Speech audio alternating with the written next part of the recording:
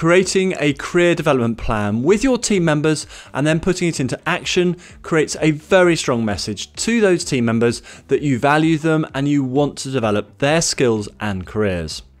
I've always found that developing employees' skills and what they can deliver for the business is great. Firstly, for motivation of those employees.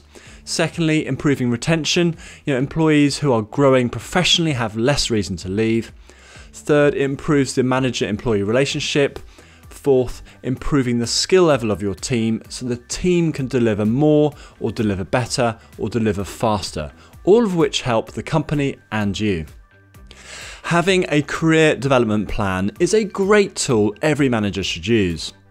If your manager doesn't create a career development plan with you, then you should create one for yourself.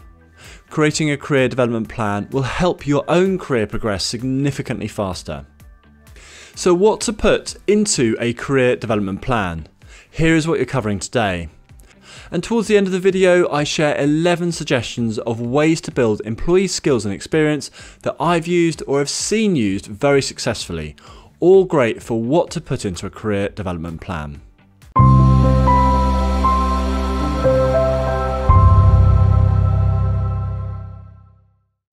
My name is Jess Coles, and I've had a 25 year management career in corporates and household names through to SMEs.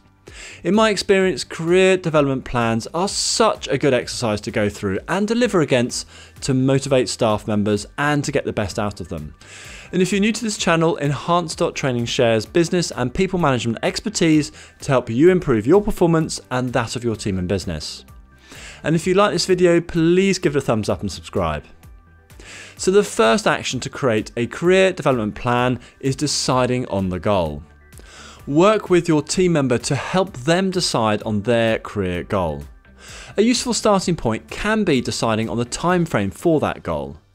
For instance, if you have just started your career, your time frame may be fairly short because you're not sure where you want to end up and you have so many routes open. Or for example, you might have professional exams to complete before expanding your horizons. If you're further on in your career, you are likely to have longer timeframes as you have a clearer direction. I recommend a time frame of 5 years or more for your career development plan. If your employee doesn't really know what they want, a good default is the head of function in which they actually sit. For example, you know, marketing or sales or finance.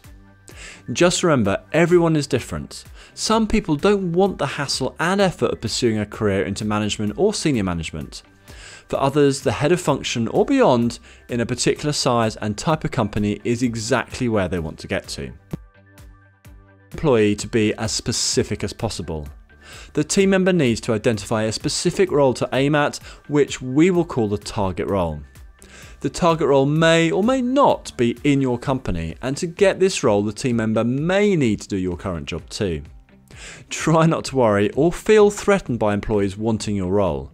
I've always used team members wanting my job as a great opportunity to free myself up to allow me to move on to the next level myself. Succession planning is very useful to do for your own career development. And lastly, the career goal in your career development plan is not set in stone. Your goals may change as time goes on. That said, sticking with the goal chosen and focusing your efforts to achieve that goal will progress a person's career that much quicker than changing goals periodically. The second action for how to write a career development plan is to create a career map.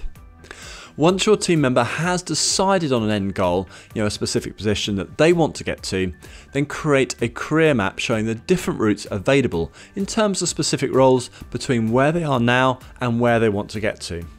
Within the career map, group the different roles at similar seniority levels, so you can see the options available as you progress through each seniority level. The career map may have few levels between the current role and the target role, say, you know, a marketing manager to the head of marketing, or there might be many levels, say, with a marketing trainee all the way through to marketing director. Get your team member to think about which of the routes available to them would appeal to them the most. Help them to work through the suitable routes based on what you know of their current strengths, abilities, and interests. If the team member is unsure on their preferred route, get them to do some high level research on each of the roles to see what skills, experience, and qualifications are needed. In Action 4, we go through how to do this. The third action in how to build an effective career plan is to decide on the next two roles. Ask the team member to choose their next role that they would like to work towards. Ideally, this role will be available within the business. Choose the next role to target as a minimum before undertaking any detailed research. The average person spends just over three years in each role during their career per recruitment stats. So, as a result, I recommend getting your team member to choose the next two roles of their career path so they are focused on a career development plan covering the next five years. You might be thinking that if I help my employee work out their career path or their next step on their career path, then they are much more likely to leave my team. I have found the opposite is the case. If they want to leave, they will leave. Taking actions to help them get to their next step delays them leaving the company, and it also gives you the knowledge of what they want and think, and the ability to help them meet their career aspirations. These steps all help you retain your staff, not encourage them out the door. Career development plan templates are available in our Management Skills Hub to speed up creating your team's career development plans and capturing all the points. The fourth action when thinking about what to put in a career development plan is research the skills, experience, and qualifications needed. The easiest part of the research is identifying what qualifications are needed. You know, does the team member already have the right qualifications or will they need to study for them?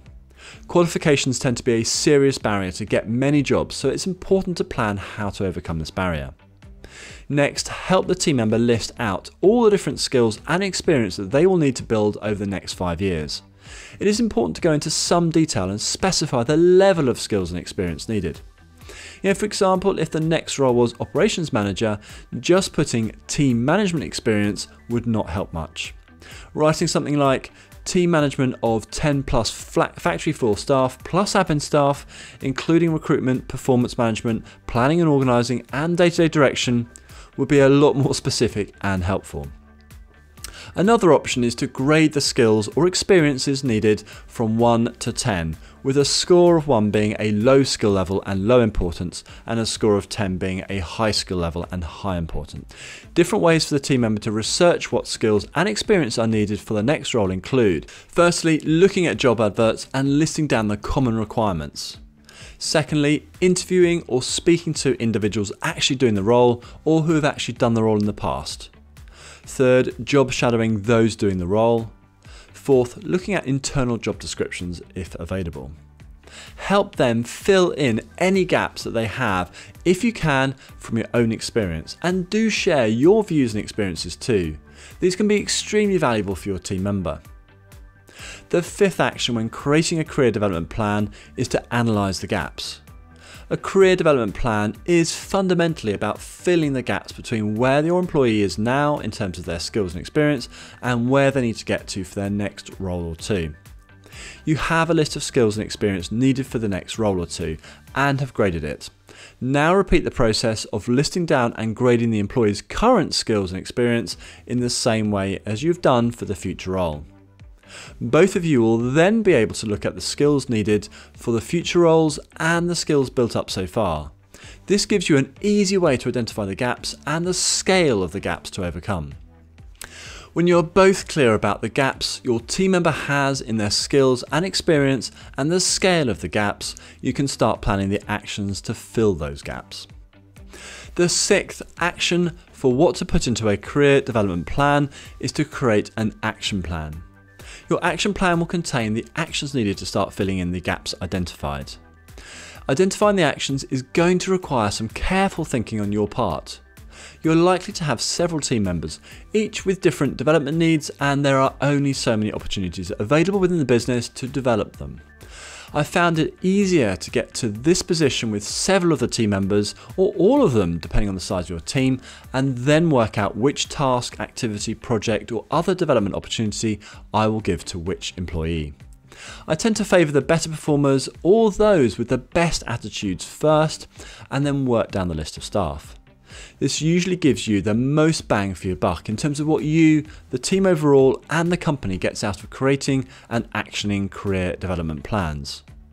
Each action should be focused on moving the individual out of their comfort zone to build skills that you've jointly identified and to deepen experiences that they need. More of the same will not help them very much.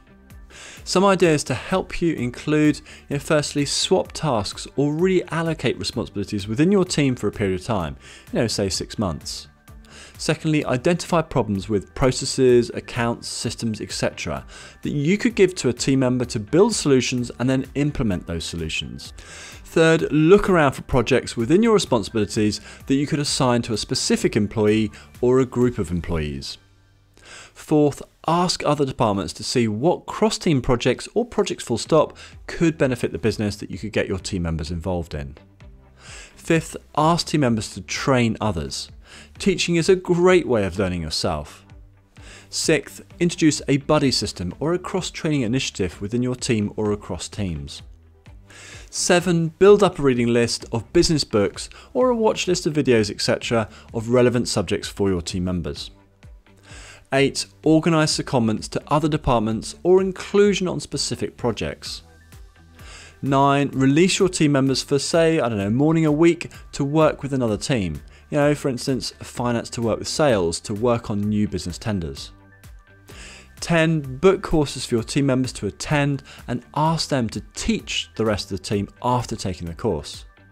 And 11. Enrol them for specific qualifications and provide study support in terms of time and money. There are lots of ways of helping to support team members develop their careers that directly helps you, your team, and the business become even more successful. I would also suggest that you don't hand training and development on a platter to your team members. Create a mix of learning opportunities, some that need the employee to work from their own initiative and to motivate themselves, and others that are provided as part of their day to day jobs. And as a final point, make the time to sit down and evaluate progress periodically with the team member. If you and the business are investing in the team member, you want to see them keeping up their side of the bargain, namely reaching the agreed milestones and targets as a result of creating a career development opportunities for them. So there you have six key actions to take for what goes into a career development plan. A quick recap on the actions to take are firstly, decide on the goal, secondly, create a career map, thirdly, decide on the next two roles to take, fourth, research the skills, experience, and qualifications needed, fifth, analyse the gaps, and then sixth, create an action plan. For templates and examples of career development plans, take a look at our Management Skills Hub. And if you have any questions, please leave them in the comments below and I will get back to you. Thanks very much for watching and I look forward to seeing you again soon.